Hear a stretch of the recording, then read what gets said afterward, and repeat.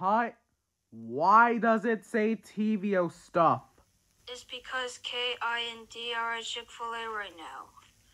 And guess what? I do have the footage. Okay, Sorry, you guys ready to see it? okay. Okay, here it goes. Welcome to Chick-fil-A. How can I help you? We would like burgers and milkshakes for all of us. Okay, it'll be here sooner or later. It's okay to wait to KID coming and then go to take fault and action.